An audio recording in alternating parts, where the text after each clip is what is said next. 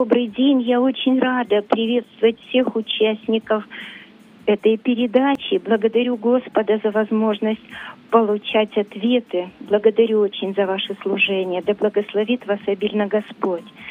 И у меня такой вопрос.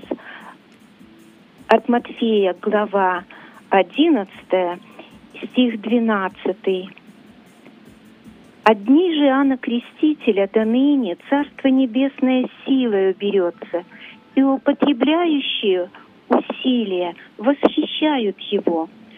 Вопрос первый, что значит восхищают? И второй, какое именно усилие имеется в виду? Дякуємо за запитання.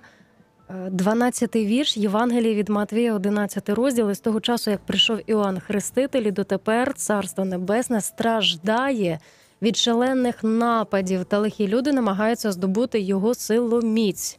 Це сучасний переклад українською мовою. Спасибо за вопрос. Очень глубокий вопрос. Ну, попробуем его э, разобрать. Написано, что одни Иоанна Крестителя до ныне Царство Небесное силу берется. Вроде бы кажется, что ну, мы даром получили спасение по благодати, а тут написано вроде как силу берется. Как это понять? И употребляющие усилия восхищают его.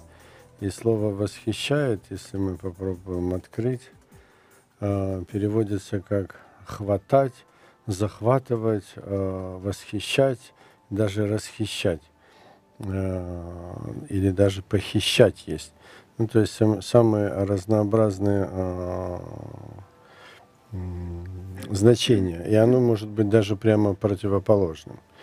Ну, если мы посмотрим вот таким текстом, как написано у нас, то, что Царство Небесное силой берется, и употребляющие усилия восхищают его, идет речь о том, ну, я предлагаю свою версию, идет речь о том, что тогда, когда мы приняли Духа Божьего, уверовали в Иисуса Христа, то после этого внутри каждого человека происходит борьба, э, внутри каждого человека.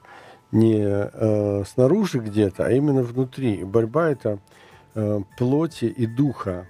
И для того, чтобы возрастать в духе, то надо прилагать усилия, да? написано терпением спасайте души ваши и так далее. Подвиг веры совершайте. То есть это труд, труд любви. И э, когда Павел говорит, я когда приду, и испытаю вас, ибо Царство Божие не в слове, а в силе. И вот какая, что это за сила? Это же не сила там изгонять бесов или еще что-то, а это сила победить самого себя, внутри самого себя, потому что рожденный по плоти – это плоть, рожденный по духу – это дух. Но э, рождение по духу не умирая, не удаляет от нас рождение по плоти, оно остается.